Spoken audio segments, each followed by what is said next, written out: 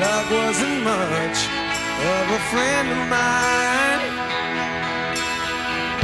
The tables have turned.